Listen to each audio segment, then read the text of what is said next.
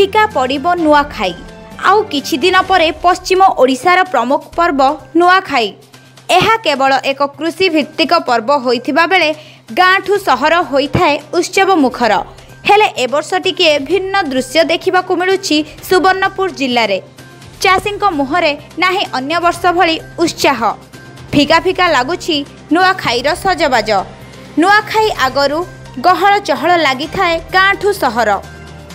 ହେଲେ ଏଥର ଦୃଶ୍ୟ ଟିକେ ଅଲଗା। ଆନନ୍ଦ ଉଲ୍ଲାସ ତ ଦୂରର କଥା କିଭଳି ପାଳିବ ନୂଆଖାଇ ସେ ନେଇ ଏବେ ଚିନ୍ତାରେ ଚାଷୀ। ଖାଁ ଖାଁ ଲାଗୁଛି ଗାଁ ଦାଣ୍ଡ ଫିକା ଫିକା ଲାଗୁଛି ନୂଆଖାଇର ସଜବାଜ। କାରଣ ଚାଷୀ ଏବେ ବିଲରେ। ଏ ଦୃଶ୍ୟ ହେଉଛି ସୁବର୍ଣ୍ଣପୁର ଜିଲ୍ଲାର ବୀର ମହାରାଜପୁର ଅଞ୍ଚଳର। ଯେଉଁ ସମୟରେ ନୂଆଖାଇ ପାଇଁ ପ୍ରସ୍ତୁତି ହେବା କଥା ସେହି ସମୟରେ ଚାଲିଛି ଜୋରସୋରରେ ଚାଷ କାମ। ବର୍ଷା ଅଭାବରୁ ବିଳମ୍ବରେ ଚାଷ କରିଥିବା ଚାଷୀ ଏବେ ଲଗାଉଛି ତଳି। ଆଉ ଦିନ ଦୁଇଟା ପରେ ନୂଆଖାଇ ହେଲେ ଚାଷୀଙ୍କ ମୁହଁରେ ଦିଶୁନାହିଁ ଉତ୍ସାହ।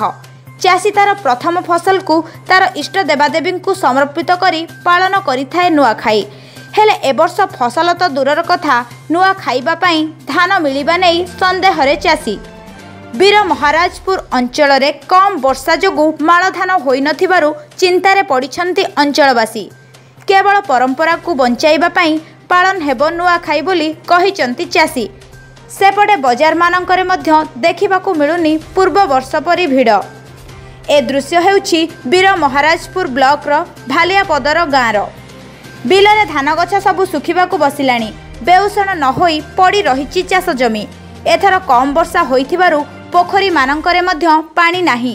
ଅନ୍ୟ କୌଣସି ଜଳସେଚନର ବ୍ୟବସ୍ଥା ନଥିବାରୁ ମରିବାକୁ ବସିଲାଣି ମାଳ ଧାନ ଖାଲି ସେତିକି ନୁହେଁ ବର୍ତ୍ତମାନ ବର୍ଷା ହେଲେ ମଧ୍ୟ ଆଉ ଚାଷ କରିହେବ ନାହିଁ।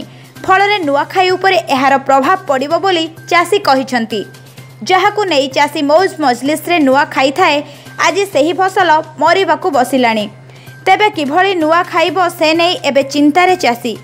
ଅପରପକ୍ଷରେ ବୀର ମହାରାଜପୁର ଅଞ୍ଚଳରେ କମ୍ ବର୍ଷା ପ୍ରଭାବରୁ କିଛି ଅଞ୍ଚଳରେ ସାମାନ୍ୟ ମରୁଡ଼ି ଦେଖାଦେଇଛି ଆମେ କ୍ଷେତ୍ର ପରିଦର୍ଶନ କରି ସରକାରଙ୍କୁ ଜଣାଇବୁ ବୋଲି ଜିଲ୍ଲା କୃଷି ଅଧିକାରୀ କହିଛନ୍ତି। କେତେବେଳେ ବନ୍ୟା ତ କେତେବେଳେ ମରୁଡ଼ି ଚାଷୀଙ୍କୁ ଦୋହଲାଇ ଦେଉଛି ମେରୁଦଣ୍ଡ। ଆଗକୁ ଆଉ କମ୍ ଦିନ ବାକି ଅଛି ଆନନ୍ଦ ଓ ଉଲ୍ଲାସର ପର୍ବ ନୂଆଖାଇ।